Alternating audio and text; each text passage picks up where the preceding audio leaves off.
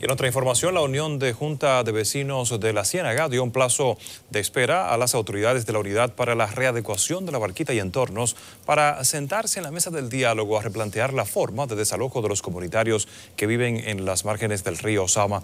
Esto a raíz de que se le garantice mayor remuneración económica, un solar o vivienda, antes de realizar una serie de manifestaciones que tienen contempladas previo al desalojo de las más de 1.400 casuchas de ese lugar que ellos no están de acuerdo con nada de lo que está haciendo la URBE y la URBE hoy dice que, que, la comunidad está de acuerdo. Eso es mentira, lo que acaba de decir la URBE, porque la comunidad no está de acuerdo. Entonces la comunidad va directamente a los presidentes de Junta de Vecinos. Los presidentes de Junta de Vecinos no les queda más que salir a la calle junto con ellos, porque después si no les sale lo que dicen, ah, pero tú estás en contra de uno. No, nosotros estamos a favor de la comunidad, a favor de que el proyecto se dé. Nosotros los presidentes no estamos en contra del proyecto.